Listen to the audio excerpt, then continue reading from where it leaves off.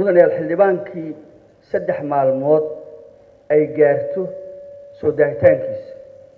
Guddoonku waxay u soo gudbinayaan guddiga xeerusaadka wuxuu soo jeedinaya maxaa la yidhaahdaa? Digniin waxaa loo gudbinaya guddoomiyaha waxaa la marsiinayaa habdhowraha waxaana loo gudbinayaa xubintaasaa loo gudbinaya xubinta waxaa la siinayaa warqad digniin ah. Hadduu saddex maalmood soo daaho.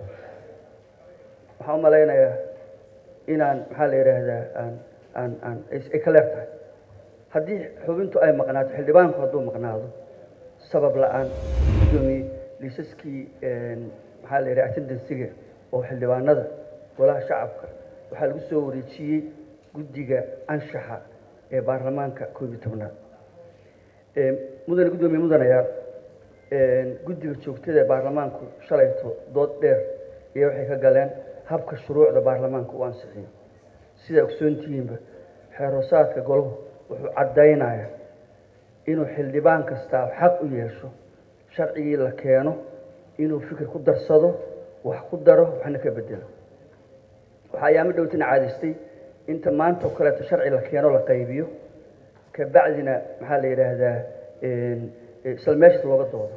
Waxaana horey loo fiirin waxaa xeerkay uu sheegayaa hindi sharciyeed kasta sida maantaba loo qaybiyey hindi sharciyeed kasta inta aanu gelin akrinta koowaad oo wasiirka keenay ama xildhibaano ay keeneenba inta aanu gelin akrinta koowaad inay xildhibaanadu soo haystaan sharcigaas. Afartan iyo siddeed saacadood ka hor intuusan akrinta koowaad gelin. Waxay u saabaxaysaa xildhibaanka wasiirka ama ciddii kale oo sharciga keentay markay akrinayso inay fahmi karaan qofkaas wuxuu akrinayo lakiin haddii hadda inta lagu qaybiyo isla haddana la akriyo macnaheedu waxa weeye markhaatin baa ka noqonaysaa maahane wax meesha ku jiraa ma jiro. Qof maxaa la yidhaha horey u haysta ama horey ugu warqabay ma jiro. Sidoo kale sidoo kale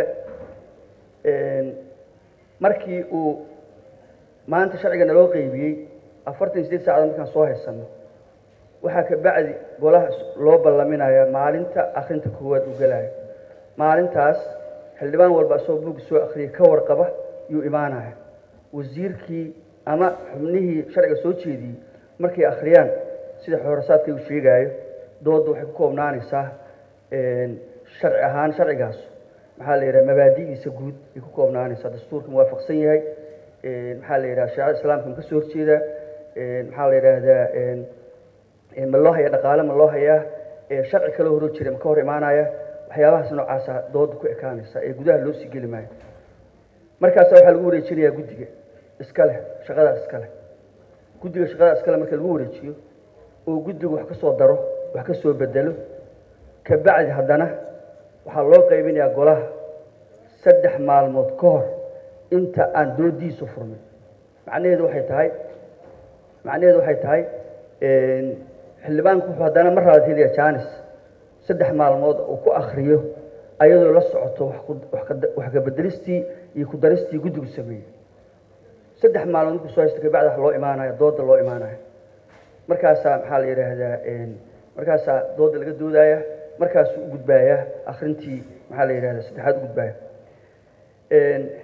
waxaa guddiga xerosaadka waajib ka saaran yahay inay ilaaliyaan xasaanadda iyo xushmadda xildhibaanadu ay leeyihiin sidoo kaletana waxaa xil ka saaran yahay inay ilaaliyaan anshaxa iyo maxaa la yidhaha dhaqanka golahu ku dhaqmaayo mudane maanta waxaa ujeedaan in loo qeybiyey sharci ay ku lifaaqan yihiin warqaddii uu soo qoray wasiirkii gudbiyey. Ra'iisul wasaarihii dalka oo soo soo gudbiyey golaha iyo tii guddoomiyaha golaha shacabka ku lifaaqan. Macnaheedu waxay tahay golaha laguma qaybin karo. Xeeroosaadka markii la fiiriyo. Golaha laguma qaybin karo sharci iyo wax kasta waxay doonaanba ha noqdaane. Waana guddoomiyaha golaha shacabka u soo fasaxinin laguma qaybin karo. Taasaa waxay keenaysaa sharcigii uu ra'isul wasaaruhu soo dalbaday golaha ka soo dalbaday inuu soo gudbiyo inuu guddoomiyuhu lifaaq saaro. Intaa markaa u gudbo waxaa baarlamaanka culays aada u fara badan uu ka qabsaday imaanshaha kulanka soo xaadiridda golaha.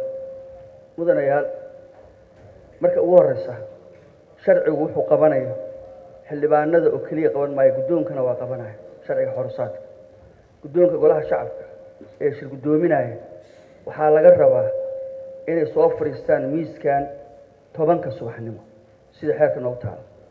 Guddoomiyaha golaha shacabka ama markaasi ku-xigeenada ciddii jeergaraynaysa golaha waxaa laga rabaa kursiga hadda la fadhiyo guddoonku inuu soo fadhiisto tobanka subaxnimo.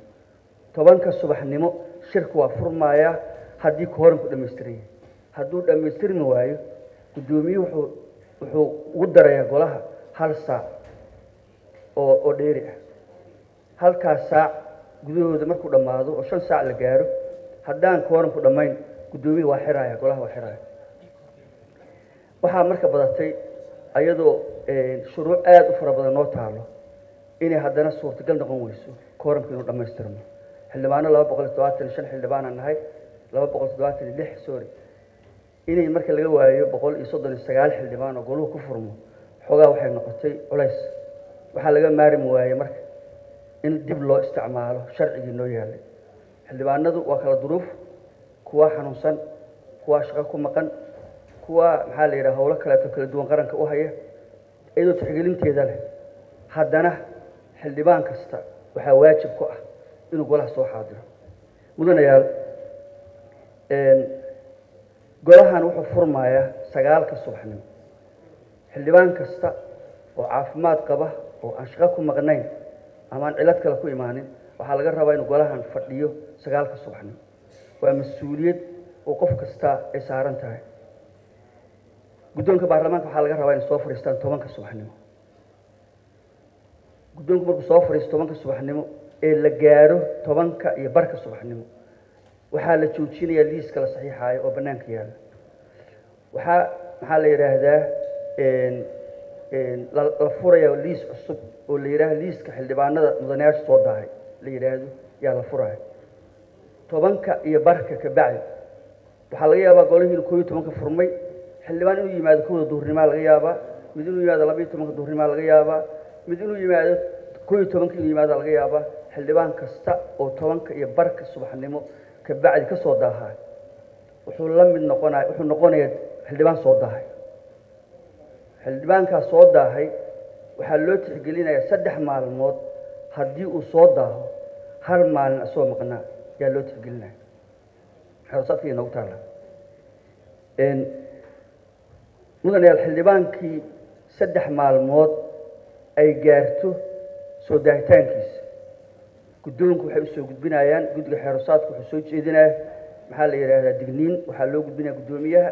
Waxaa la marsiinayaa habdhowraha waxaana loo gudbinayaa xubintaasaa loo gudbinaya xubinta waxaa la siinayaa warqad digniin ah. Hadduu saddex maalmood soo daaho waxaan u malaynayaa inaan maxaa la yidhaahdaa aan aan aan ay ka leer tahay.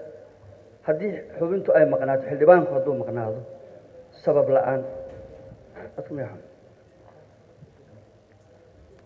adku miya hada male maqlaa guddoomiyaha markasta dhib ku qaba. Ee guddoomiya male maqlaa markasta dhib ku qabaa codka maqalkeyga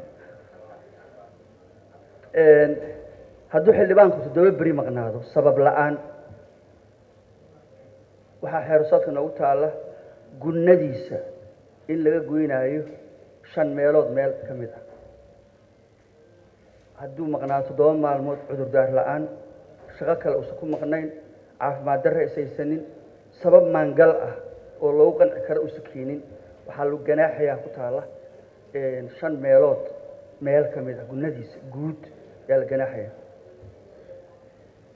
Mudanayaal waxaa kaleeto oo ayaduna sharcigayga noogu yaalla xildhibaanka soo xaadira oo yimaado waktigii loogu talagalay ee ama saxiixi waayo kooramka ama hor istaaga inuu kooramku buuxsami waayo sidaas si la mid ah habdhowrayaashaa soo gudbinaya hadday ku caddaato xildhibaankaasi waxaa la horgeynayaa guddiga anshaxa baarlamaanka.